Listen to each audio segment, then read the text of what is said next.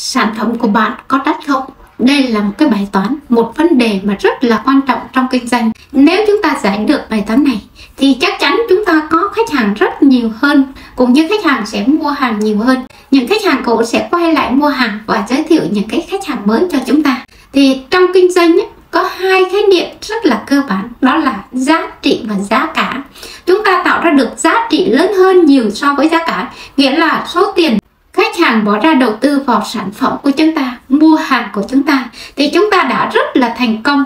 Giá trị ở đây thì chúng ta tạo ra không những là giá trị liên quan đến sản phẩm của mình, mà nó còn nhiều giá trị khác liên quan đến cuộc sống, liên quan đến những vấn đề của khách hàng.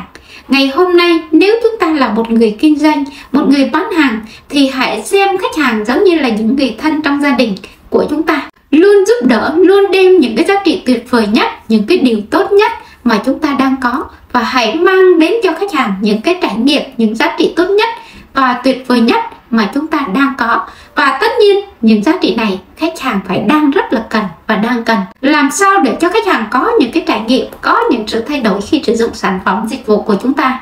Khách hàng phải thốt lên, wow, thật là tuyệt vời! Thì khi đó chúng ta đã rất là thành công. Đặc biệt, chăm sóc khách hàng để giúp tạo ra một gia tài cho chúng ta. Khi đó, khách hàng sẽ quay lại mua hàng cho chúng ta hay là giới thiệu rất nhiều khách hàng đến cho chúng ta. Hoặc có thể khách hàng trở thành những cái đối tác của chúng ta trong tương lai.